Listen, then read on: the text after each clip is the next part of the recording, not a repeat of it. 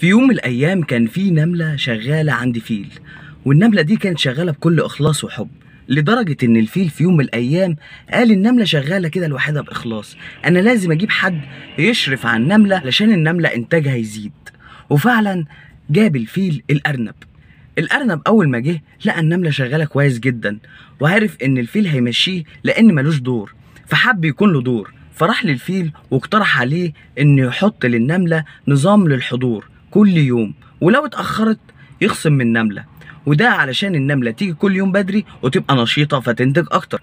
الفيل وافق على الفكرة. الأرنب طلب من الفيل كمان إن هو ناس تشتغل في الحسابات وفي المخازن علشان يتجنب السرقة والتوالف. الفيل وافق. مع الوقت الفيل قرر يجيب الغراب علشان يشرف على الأرنب وعلى النملة وعلى المحاسبين وعلى المخازن. والغراب أول ما جه ولقى الدنيا ماشية تمام قال لك أنا كده الفيل هيمشيني لأن ماليش دور. فراح للفيل واقترح عليه إن هو يعمل system للنملة بحيث إن مرتبها يتقسم جزئين جزء على هدف يومي لازم تجيبه وجزء على أنواع معينة من الحبوب لازم تجيبها. ولو ما جابتهاش يتخصم من مرتبها. الفيل وافق على كلامه. ومع الوقت الفيل حس إن هو بيخسر. بيدفع كتير جدا في مقابل اللي بيدخله فقرر إن هو يجيب الثعلب كمستشار مالي. والثعلب أول ما راح وشاف الوضع قابله الغراب بقطعة لحم كبيرة.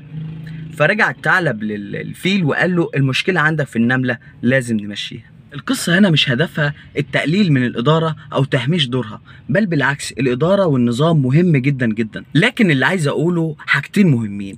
أول حاجة للمديرين والمشرفين لازم تعرف تستخدم صلاحياتك بشكل مناسب. لازم صلاحياتك تعرف تستخدمها كويس مع الناس اللي فوقك قبل ما تستخدمها مع فريقك.